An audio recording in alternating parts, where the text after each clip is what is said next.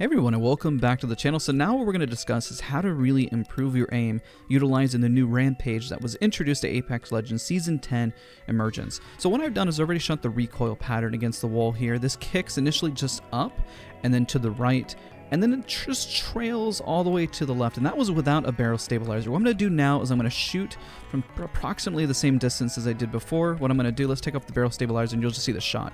So while I'm shooting, what I really want to highlight here is how slow the rate of fire really is. And so I was actually standing a little bit further back, which is why I'm reshooting this just so we can get it very accurate. And keep in mind, this is at close range. So I'm going to go over here to the right. And what I'm going to do is add the barrel stabilizer and we're going to shoot again. I want you to look at the recoil. Do not pull down as much as you think when utilizing this gun. The recoil pattern is really not that overwhelming. The biggest tug that you have is to the right. So realistically, the only pull you have to do is to the left and then some minor pulls to the right at the very end. So this is a very easy recoil pattern to control, even if you're using a 3X, just as an example. And I showcase this sight because it is a very clean sight that you're utilizing. So we're going to shoot at this wall, and I'm going to remove the barrel stabilizer so you see more of a kick. So when you're pulling down, and you're getting a little bit of that spread, and you're controlling the recoil, you will notice how easy it is to really keep the center. And that even though it seems like it kicks up, you just have to pull down and just really adjust the shot. And over time, as you're shooting, this gets easier and easier and easier to do. Even as you're seeing me do this, you're just practicing. This is probably the best way to practice utilizing the rampage because what I'm essentially doing is I'm overcompensating for the recoil and pulling down more than I need to. And this is with a 3x. So if we use a 1x and 2x just as an example, and then you pull down, you realize just if you pull too much, just how much the recoil pattern gets really overwhelming, and now it's so steady there. And it's even smaller movement than I than before with a 3x, and I use the 3x just to give you a prime example. So a really good exercise that you can utilize when practicing with the Rampage is really keeping your hand and aim steady. Because when you do that, I recommend standing in front of this target dummy and then just doing a slow track when controlling. Most targets will move in front of you. And realize how smooth you need to keep this to really maximize on your aim. I'm going to show you an exercise, an aim lab as well, because the, really the goal is to keep your aim as smooth as possible. The smoother you keep it, the better it's going to be when controlling the recoil of this gun. If not, it's going to be very overwhelming and you'll end up overcompensating for the recoil and making a lot of mistakes. Even if you put a thermite on it and increase that recoil, or excuse me, increase the rate of fire more, you're going to realize just how much that it doesn't make that big of a difference to really impact. So, all right, now that we got the toggle fire mode, we're going to add that in here. And when you heat up, the recoil pattern does not change, but the rate of fire does. I actually find this a bit easier to control using that rate of fire. Now, another one that's easier to shoot in front of it is utilizing this one in here is really just controlling it do not overthink when shooting with this gun. There's barely any recoil, recoil, and then when you're shooting with it and you're shooting at the wall, yes, it kicks up a long time afterwards, but the reality is is that this barely does kick and it's going to be an absolute monster when utilizing. So that's the biggest issue that I've been seeing most individuals when they're utilizing this gun is that they're overcompensating, overshooting. Even if you're shooting from a distance here, you'll realize right away that you can just snag headshot after headshot. You don't need to tap fire it. It is an full auto weapon when shooting.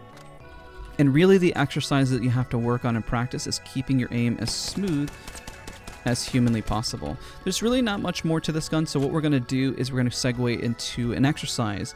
So I showcase two exercise whenever you're in game. Hit those targets there to really improve it, and even use the ones at a distance when you're trying to shoot to get that control that recoil. And this is probably where it gets a lot more overwhelming.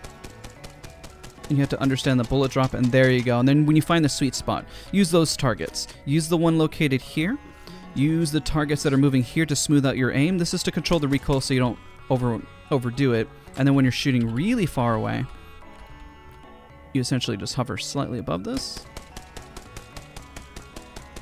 And then when you find it, there you go. And uh, that just, just takes a little practice because I'm doing the same thing here. And there you go when you find that bullet drop in distance. Do the same thing with the 3X, a 2x4. You can't attach anything larger than that. That's pretty much as large as you can go with the Rampage. And then let's do a quick exercise if you're going to aim train and aim lab, and all you have to do is really just smooth out your aim. This is like the biggest tip. So for shooting, there you go, or pretty much already have it. nailed down pat, and you will become pretty much a pro with this gun. Notice how the jerkiness is more or less just like flicking to correct the aim and keep it stable as possible. That's going to come with time once you learn this recoil pattern. You have that sway left and right, and initially it feels like it's overwhelming, but all you're doing is just kind of flicking left and right the horizontal and keeping it steady in the center. This is really, really great practice, honestly. Because before you know it, you, will keep your shot steady, and then when you do it close range here, it's like it's barely moving at all. And then there you go, GG's. So let's go into a quick exercise that I believe is going to be helpful for you and Aim Lab to help smooth out your, your aim. Okay, there's three exercises. The first one that I'm highlighting here is the arc track, just to really smooth out your aim to make sure you don't overshoot and then kind of speed it up when somebody is moving a lot faster. Arc track is very beneficial, and I'll stop moving my hand while I'm talking, which is not always the easiest thing to do. The reason why this exercise is so helpful is that you're really slowing down your aim to really smooth it out, which is very, very helpful. Now, the next exercise I want to showcase for you guys as you are practicing this more and more is you're going to utilize micro track.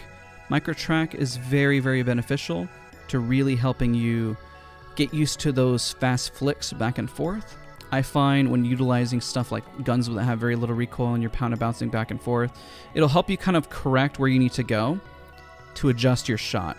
I find that to be very beneficial and helpful, so I'll stop with this exercise as well.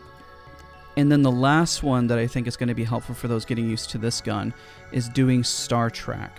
So Star Track is the same thing that you saw in game from before, but you're tracking in a, in a straight line. It's a similar thing, but at least this gives you some angles to kind of work on.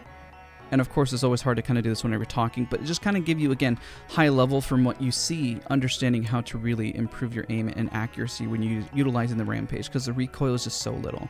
Hopefully this is helpful for you guys, getting you guys comfortable with the new gun.